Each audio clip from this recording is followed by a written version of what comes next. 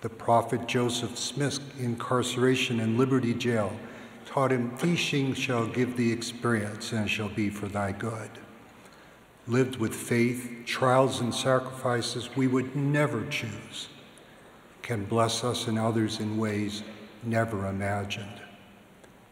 We increase faith and trust in the Lord that all things can work together for our good as we gain eternal perspective. Understand our trials may be but for a small moment. Recognize affliction can be consecrated for our gain.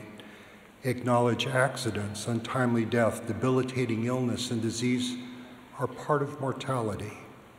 And trust loving Heavenly Father does not give trials to punish or judge. He would not give a stone to someone asking for bread, nor a serpent to one asking for a fish.